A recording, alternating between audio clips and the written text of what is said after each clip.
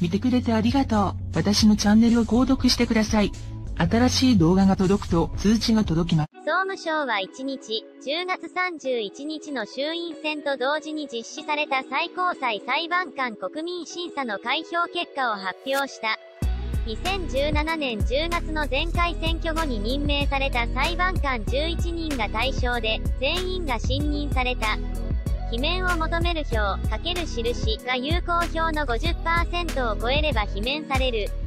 かける印が最も多かったのは宮山拓也氏の449万554票で罷免率、かける印の割合は7.85%。最小は安波良介氏の341万1965票、罷免率5.96%だった。投票率は前回を2、35ポイント上回る55.69%。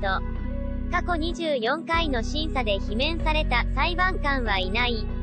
罷免率が最も高かったのは1972年審査の下田武宗氏の15.17%、近松仁太郎。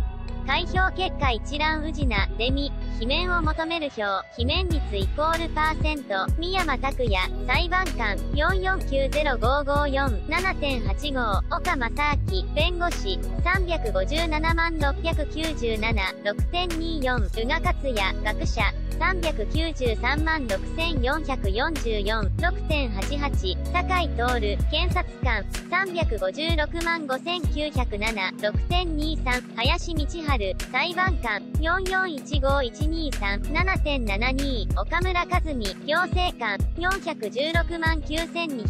7.29、三浦守、検察官、383万8385、6.71、草野光一、弁護士、384万6600、6.72、渡辺恵里子、弁護士、3495810、6.11、安波良介、裁判官、3411965、5.96、長峰康政、行政官、415万7731、7.27、総務省発表、告示順。